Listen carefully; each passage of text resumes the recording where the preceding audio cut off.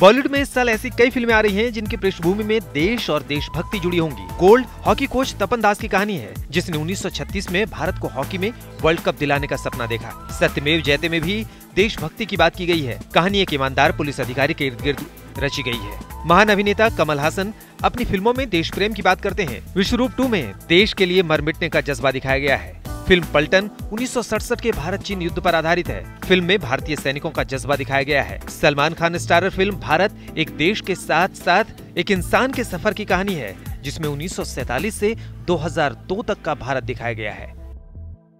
अगर आपको हमारा ये वीडियो पसंद आया है तो भारत तक को सब्सक्राइब कीजिए। हमारे वीडियोस को लाइक कीजिए।